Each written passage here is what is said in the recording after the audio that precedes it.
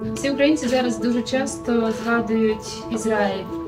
Коли українці хочуть підбадьорити один одного, ми кажемо, Ізраїль зміг вистояти і ми вистоїмо. Тобто ви наш приклад стійкості. Але стійкість має свою ціну, ментальну ціну, і саме ви добре про це знаєте. Ми прагнемо, щоб психологічна допомога стала також повсюдною, як загальномедична допомога.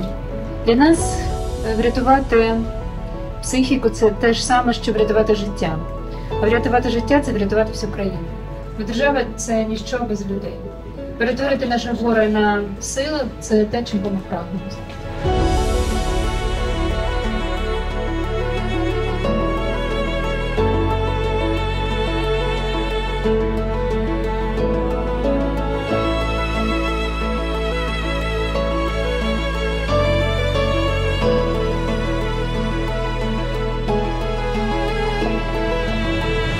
Я безмежно вдячна центру Наталь та пані Герцог, що закликала його на допомогу.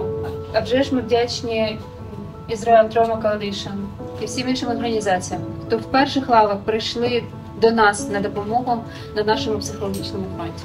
Ви навчаєте наших фахівців, які несуть ці знання далі, щоб охопити програмою ментальної підтримки всю країну.